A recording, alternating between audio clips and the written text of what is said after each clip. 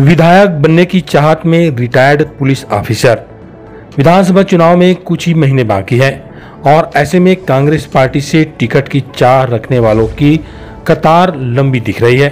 हम बात कर रहे हैं महासमुंद जिला के सराईपाली विधानसभा क्षेत्र की, जहाँ पर कांग्रेस पार्टी से टिकट की चाह रखने वाले retired police officer Dauram Sagar, जो पिछले पाँच छह माह से चुनावी मैदान पर उतर चुके हैं। दाऊराम सागर ने छत्तीसगढ़ एक्सप्रेस न्यूज़ के संवाददाता छायाकांत भट्ट से चर्चा करते हुए बताया कि वो एक रिटायर्ड पुलिस ऑफिसर हैं। वे महासमुंद जिला के बलौदा थाना, भंवरपुर चौकी और बसना थाना क्षेत्र में सेवा दे चुके हैं। दावराम सागर इन दिनों सराईपाली विधानसभा क्षेत्र के गांव-गांव जाकर ग्रामीणों से रूबरू हो रहे हैं। एवं ग्रामीणों की समस्याओं को सक्षम अधिकारियों तक पहुँचाने का भी कार्य कर रहे हैं। Retired police officer Dauram Sagar आगामी विधानसभा चुनाव को देखते हुए अपनी दावेदारी प्रदेश स्तर से लेकर राष्ट्र स्तर तक के नेताओं तक कर चुके हैं।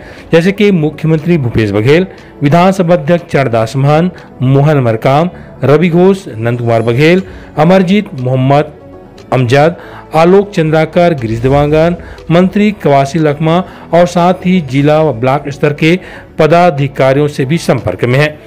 दौराम सागर का सरायपाली शहर से जन्मजात रिश्ता है।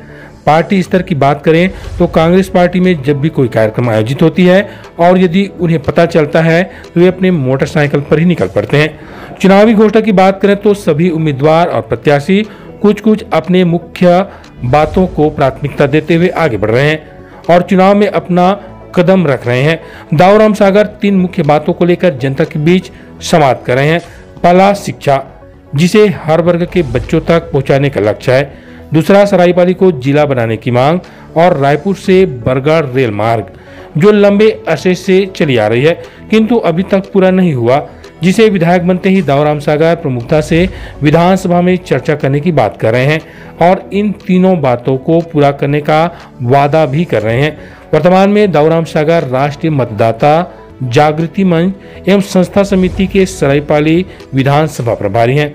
समर्थन की बात करें तो सागर को क्षेत्र में अपार समर्थन मिल रही है। यूँ कहें तो अभी सरायपाली में दाऊराम सागर जैसे उम्मीदवार और कोई दूसरा नहीं दिख रहा।